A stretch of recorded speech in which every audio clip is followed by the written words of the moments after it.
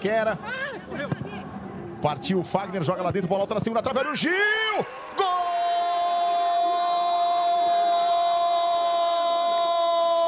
Quinze minutos do primeiro tempo, a cobrança do Fagner. O Gil toca de cabeça e o Everton.